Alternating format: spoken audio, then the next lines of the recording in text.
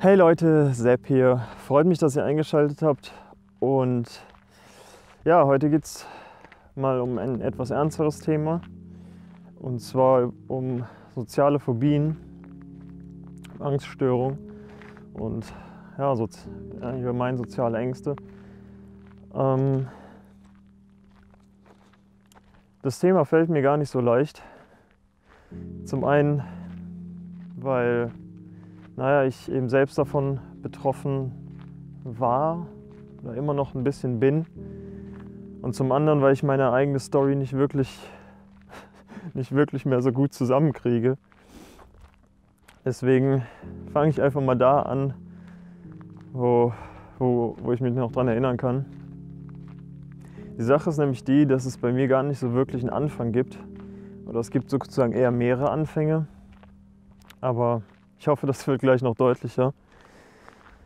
Ähm, die Sache ist bei mir so rausgekommen in der Zeit nach dem Abitur. Ich wusste dann irgendwann, dass ich, dass ich Sport studieren wollte und habe für den Eignungstest trainiert und habe den dann auch irgendwann geschafft und so. Und danach musste ich halt quasi einfach, ja, einfach warten, bis ich angenommen werde. Jedes Semester wieder, wieder beworben und ja, es hat ein bisschen was gedauert. Die Sache ist, mir ging es in der Zeit und auch schon lange vorher ziemlich scheiße. Ich wusste aber nicht warum. Ich konnte es nicht erklären. Aber mir ging es übel scheiße. Ich war immer mega, mega fertig, mega erschöpft. Ich dachte, ich dachte damals, dass es Müdigkeit wäre, was sich aber, naja, als falsch rausstellte. Und ja, auf jeden Fall ging es mir mega scheiße und ich, ich konnte es nicht erklären. Und man konnte es halt auch nicht nachweisen. Also ich, ich konnte das halt auch niemandem beweisen. Ähm, es war nachher so, dass wir, dass wir wirklich viel ähm, auch Ärzte abgeklappert haben, um irgendwelche Sachen abzuchecken. So, ich habe in dem Zuge dann halt auch mal irgendwie Bluttests gemacht und Hormone, ähm, Hormone abchecken lassen. So, aber ich war eigentlich körperlich immer komplett kerngesund. Und trotzdem ging es mir halt die ganze Zeit mega beschissen. So, und, und ich wusste halt, dass es, ich wusste nach dem Abi, weil es da auch irgendwie zu einem Höhepunkt gekommen ist, ich wusste, dass es nicht von, von alleine einfach besser wird. Und deswegen habe ich auch ganz klar gesagt, ich will, ich will studieren gehen, ich will in die Sporthochschule. Aber solange ich da nicht angenommen werde, mache ich sonst auch nichts. Und kümmere mich eben darum, kümmere mich eben darum, ähm, ja, mich selbst auf die Reihe zu kriegen.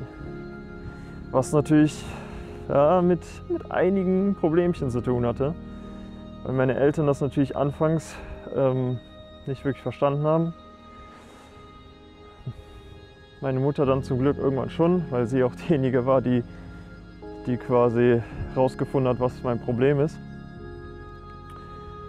Ähm, mein Dad hat das leider irgendwie nie so wirklich nachvollziehen können, was halt dann eben auch zu ziemlichen Spannungen geführt hat, weil naja, ich war 21, glaube ich, und habe nur zu Hause rumgehangen was halt eigentlich nicht stimmt. So. Ich hatte halt offiziell nichts, aber ich habe halt sehr viel mich mit, mein, mit meinem, meiner Gesundheit beschäftigt, habe da auch sehr viel erreicht in der Zeit, für mich persönlich. Also ich kann eigentlich echt sagen, dass es so meine lehrreichste Zeit war. Und, und damals habe hab ich auch mit Markus zusammen einen Brofit-Kanal betrieben, haben ziemlich viele Videos gemacht. So, es, das war es war auf jeden Fall keine sinnlose Zeit, ganz im Gegenteil.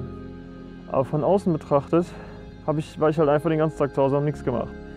So und sowas sehen halt gerade Eltern eigentlich meistens nicht so gerne. Und dann ja, bekommt man irgendwie noch, noch zusätzlichen Stress, den man eigentlich gar nicht gebrauchen kann. Aber ja, wie ist, wie ist das jetzt bei mir eigentlich rausgekommen? Die Sache ist, mir ging es halt voll lange scheiße, ich wusste nicht, was es ist. Ich, ich war ständig nervös und übel erschöpft und keine Ahnung warum. Und irgendwann war es so, also dafür muss ich noch erzählen, in der Zeit war es so, dass ich halt ähm, angefangen hatte mit Krafttraining, mit Calisthenics und halt dafür regelmäßig trainiert habe. Und ich habe von meinem eigenen Training irgendwann, also ich war irgendwann so ängstlich vor allem Möglichen, dass ich von meinem eigenen Training richtig Angst bekommen habe. Das war mir aber nicht bewusst. So, ich hatte die übelsten Körperreaktionen und keine Ahnung, mir ist es trotzdem nicht aufgefallen. Also es war dann wirklich so, dass ich schon Tage vorher von, mein, von einem Training nervös geworden bin und währenddessen halt richtig, boah, keine Ahnung, ich bin richtig durchgedreht irgendwie. Ich habe während, so einem, während so einem Satz irgendwie richtig ähm, Herzrasen und kam irgendwie mit dem Atmen gar nicht hinterher und hatte kalten Schweiß und war voll am Zittern und ey, wenn, ich, wenn ich irgendwie dann abgesetzt hat, war das, war das so dieses Gefühl, wenn man so irgendwie so ein bisschen unter, unter, unterkühlt gewesen war und dann es wieder warm wird und alles so kribbelt. Das hatte ich dann am ganzen Körper. Und ich hatte voll die Magenprobleme dann in, ähm, in den Momenten. Das, das war richtig übel. Mir ist es einfach nicht aufgefallen. Und das habe ich dann halt eben irgendwann meiner Mama so beiläufig eigentlich erzählt. Und die dachte sich halt dann, ja gut, äh, ist ja irgendwie nicht ganz so normal. Und hat dann irgendwie angefangen zu recherchieren, ist darüber halt dann auf Angststörungen gekommen. Ähm, und jetzt fragen sich wahrscheinlich einige, was hat jetzt Angst vorm Training mit Sozialphobien zu tun? Das weiß ich auch nicht. Aber wie gesagt, äh, das war irgendwie so die, die Hochphase bei mir, da wo es wirklich am schlimmsten war. Und warum ich auch Angst vor meinem Training bekomme, kann ich nicht erklären. Aber es war halt nur eine andere Sache. Weil, wie ich eben schon gesagt habe, war ich ständig vor allem Möglichen nervös. Also ich dachte, dass das Nervosität war. Jetzt weiß ich halt, dass es Angst war.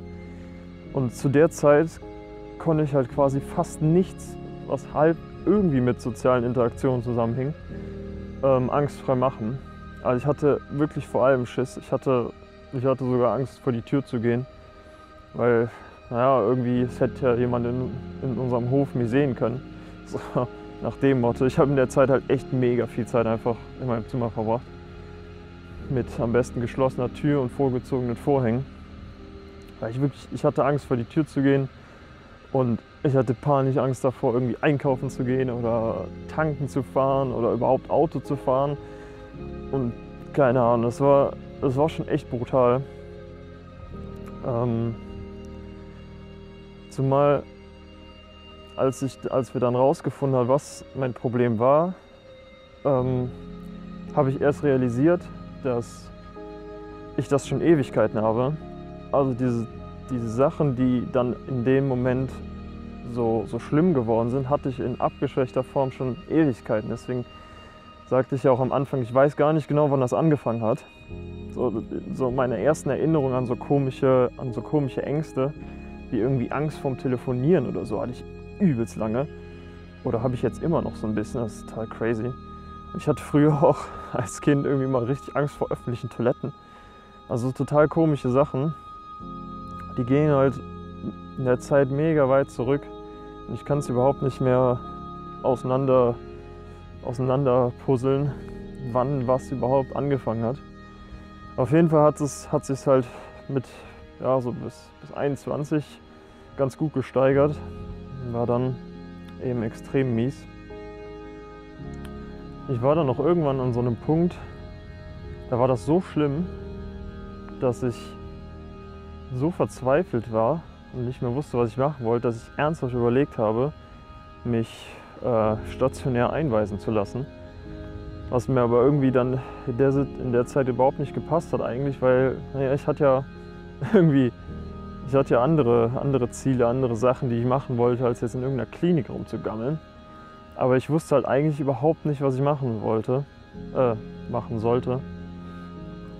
Ähm, zum Glück, zum Glück wurde ich über, über fünf Semester hinweg nicht angenommen an der Sporthochschule. Und zumindest äh, meine, meine Mutter hat mich dann irgendwann auch daran unterstützt, dass ich nicht irgendwie jetzt auf Krampf arbeiten gehen muss oder so und dass ich mich um mich selber kümmern kann. Und ich habe in der Zeit, in den, das waren bei mir dann, ja, nach, nachdem ich es rausgefunden habe, glaube ich, bestimmt zwei Jahre oder so, also echt eine krasse Zeit, ähm, die ich mich darum kümmern konnte, mit, mit diesem Problem fertig zu werden. Und ich finde, ich habe das auch mega gut hinbekommen. Also wie gesagt, ich habe immer noch, es kommt immer noch so ein bisschen was durch heute, aber es ist halt echt kein Vergleich mehr. Die meisten Sachen, von denen ich eben aufgezählt habe, von denen ich, vor denen ich Schiss gehabt habe, sind halt jetzt eigentlich überhaupt kein Thema mehr. Und ich weiß, dass es da draußen viele gibt, die diese, die, die auch soziale Ängste haben und die auch in dieser Situation sind, dass sie nicht wissen, was sie machen sollen. Und deswegen möchte ich darüber reden, was man dagegen tun kann. Da das Video jetzt aber wahrscheinlich jetzt schon wieder viel zu lang ist und ich das wahrscheinlich wieder kaum hochgeladen bekomme, weil ich so eine scheiß langsame Leitung habe und das 1000 Stunden dauert, würde ich hier mal einen Cut machen und würde nochmal extra Videos dazu drehen, wie man eigentlich mit diesem Problem fertig wird und was man tun kann und ja, wie man wirklich zu einer Lösung kommt. Weil gerade wenn man auch bei, bei Therapeuten ist, ähm, lernt, bekommt man oft nur so Tipps, um damit leben zu können. Aber man muss nicht damit leben. Man kann das auch, man kann das auch durchaus ähm, ganz loswerden und ja, in, in Freude und Glück durch die Welt schreiten und das ohne diese beschissenen Ängste.